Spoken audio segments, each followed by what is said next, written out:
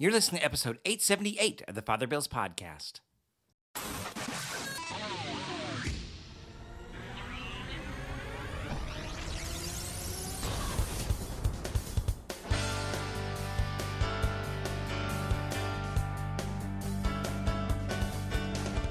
Welcome back.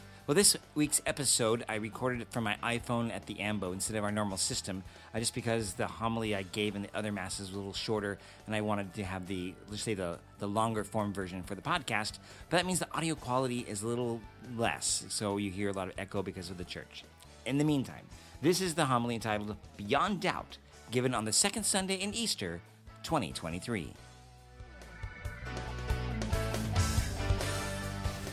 A father once said to his son, Remember, son, a smart person always has doubts about something. Only an idiot has, has to be 100% sure, certain about everything. Dad, are you sure? He replied. Absolutely, son. In today's gospel, we hear about the doubts of St. Thomas. Well, we might simply resign to calling him Doubting Thomas, right? We must be aware that all of the, the disciples doubted him. And we can see this in Matthew 28 17, at the end of the gospel, where we hear, when they saw him, they worshiped, but they doubted. In fact, it was Thomas who was the first among the disciples to proclaim post resurrection the truth about who Jesus was, right? We heard this My Lord and my God. So, how do we move beyond our doubts? How can we have faith beyond our doubts? That is the question I'd like to prepare for us to answer. The first thing is not to be afraid of your doubts. At one time or another, we all entertain and experience doubts. It's part of being human. And it is true that doubts can diminish our faith but they can also be a catalyst to increase it. How we handle doubts is the key. It needs to be said that the opposite of faith is not doubt. The opposite of faith is certainty. Sometimes a healthy, though, sense of doubt is better than certainty. Case in point, last Monday, I was visiting my sister Marianne in Independence, Oregon, and I was talking to her about the smart home kit, the Apple Home Kit that I use at the house, how amazing it is to be able to automate things. So she has a couple lamps that she can just say, I won't say the word Siri, I'll use the word Shlomo. So, hey Shlomo, turn on the lights, lights turn on, etc. I didn't say that though, I actually said Siri when I explained how wonderful it would be if the garage door opener could do that for her, like it does mine. All I have to say is, Shlomo, open the garage door. I was certain that nothing would happen because I'm in independence. A day later, my neighbor texts me and says, By the way, I just realized your garage door has been open all day. And I finally came over at 8:45 p.m. to close it and check out the house. And I can actually then I go back to my home kit. I can see the cameras and like sure enough, he's wandering through the house, checking everything. And oh, my enlightened sense of certainty did not prove out to be the case. I was certain and wrong. And I'm very thankful for kind neighbors. That said, though, if we reject everything that we doubted, on the other hand, that'd be a very dangerous path. So here are some of the things I do when I encounter doubt. And do I encounter doubt? Oh, yes, lots. First of all, I allow my doubt to be the catalyst for understanding, not the other way around. Instead of giving in to or remaining lazy in my state of doubt, I look for evidence of what the church teaches and why. Now, of course, I went to seminary, so this is probably easy for me to look these things up. And, but you know, you could go on Catholic websites, make sure they're Catholic. but see, I'm responsible for the gift of faith that is given to me. God has given me the gift of faith, and I'm to stir it, kindle it, nurture it. And when I'm lazy, I do none of the above. So I need to continue educating myself, even as a priest. You know, in the case of St. Thomas, he was in the midst of some kind of grief, right? Think about it. He'd been with Jesus all this time, and he had not seen yet Jesus arise. He did not see the risen Jesus, though his friends, the other disciples, had. But what was his exclamation upon given more information? My Lord and my God. Jesus responds, right? He's blessed. He actually questions him. You know, you see and you believe. But blessed are those who have not seen and have believed. When I was a freshman at Oregon State, I lived in a Christian co op called Varsity House, and I met some of the most amazing, passionate, and inspirational Christians there. And there are a few, let's just say, difficult ones. Those few are what I can remember for sure as well, because on occasion they would accuse me of not being a Christian. You're a Catholic. What are you doing in this place? This is for Christians. Or another, after we celebrated a, a trophy, we got a trophy for winning an intramural football game, came up to me, this one gentleman, said, Here, worship this trophy like you worship the statues of Mary. Now, I could just sit there on my laurels and just whimper. No, that inspired me to get busy about where I am lacking in my understanding of my faith and be able to explain it. Um, um believe me, I did. Uh, no bad deed went unchallenged by me. Let's put it that way. And you know what? It grew me closer to these gentlemen that had conflict with. No longer did they challenge me as a non Christian. Now they actually understood what it meant to venerate saints. See how it flipped? So, number two, I strive to come to understanding, but in a place of trust, not distrust, not skepticism, but of trust. When I have a moment of doubt, I recourse to logic and history.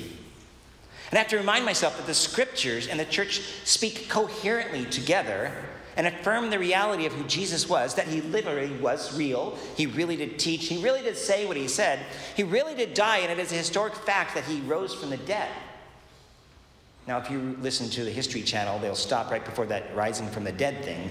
They'll talk about the Christ of history, and, or the Jesus of history and the Christ of faith. Like dumb people believe that part. But they fail to know and recognize that there's extra biblical texts that attest to the Christian church and its earliest witnesses of Christ and his resurrection. So I engage my faith with understanding. And I do so with an attempt to understand, not to disprove.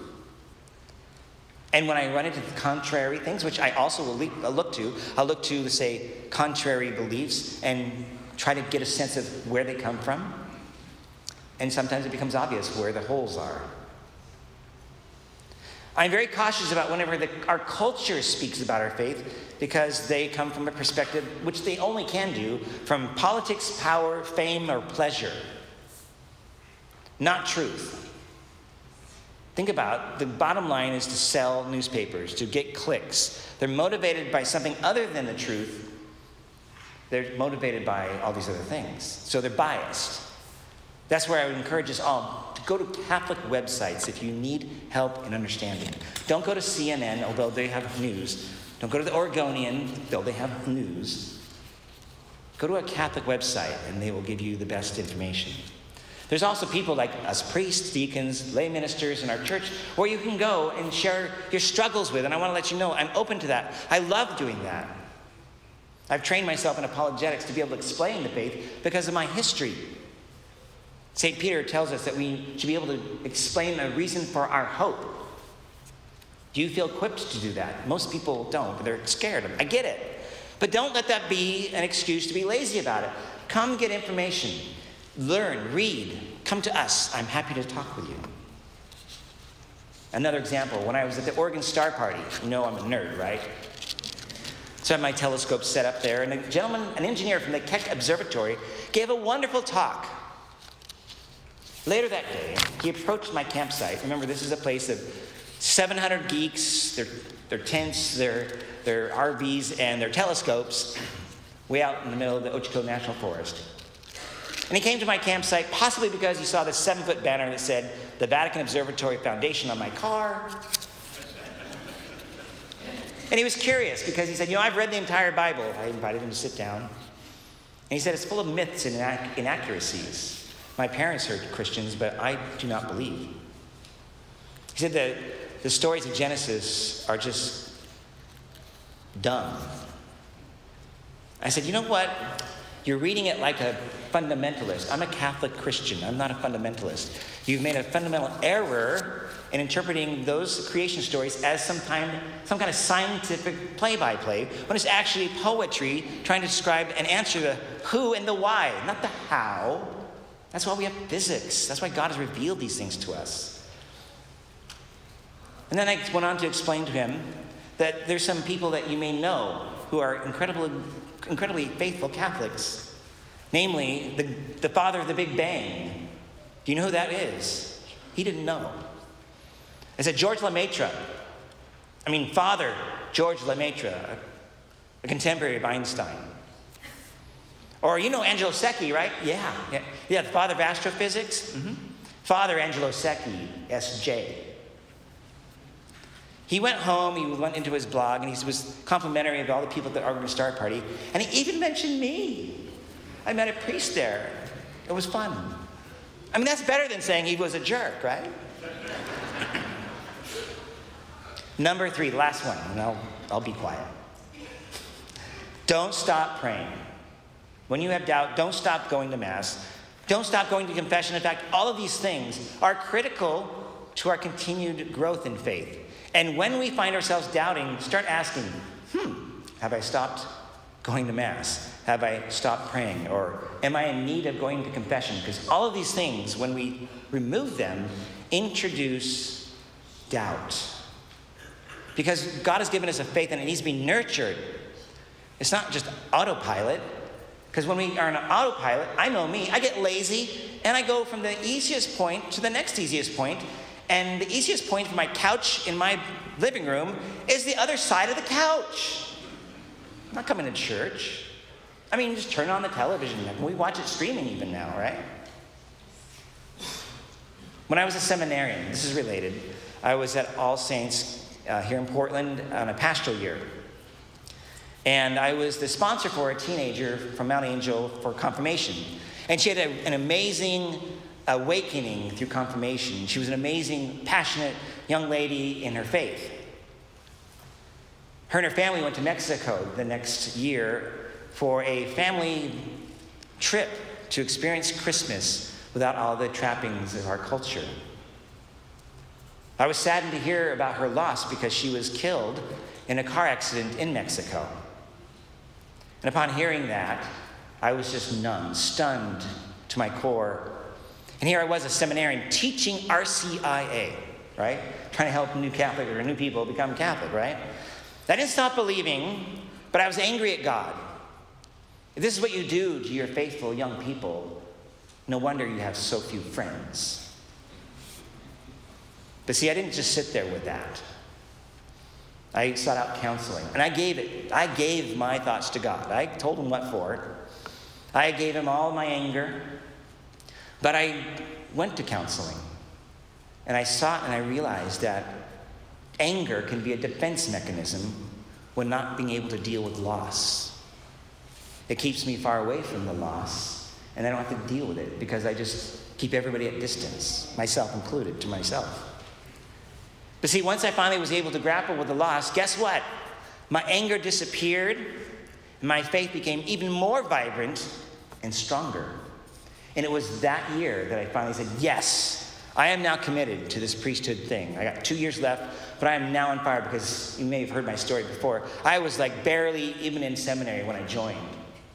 Archbishop Levada said, Well, how would you like to go to Rome? This is my introductory interview with him. I'm like, Archbishop, I am barely here. He goes, Whoop, never mind. Off I went to Mount Angel. While St. Thomas is considered uh, sometimes a doubting Thomas, right? He was blessed for having seen and believed. In many ways, we are even more blessed or blessed. Because while we haven't seen Jesus walking around in the flesh like Thomas did, we have the Eucharist. We bump into him there and in the confession. We see him, he's present in our midst. And so when we come to Mass, this is the way we lift up and get beyond our doubts. These things I offer to you as ways to live beyond doubt.